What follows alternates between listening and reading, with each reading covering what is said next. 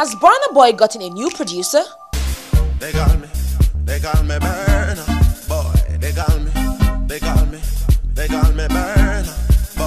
Nigerian reggae dancehall singer and songwriter Burna Boy, who won the Headies Rookie of the Year competition in 2012 and was later nominated in the Next Rated category in 2013, has never looked back since he broke into the music scene with his Like to Party.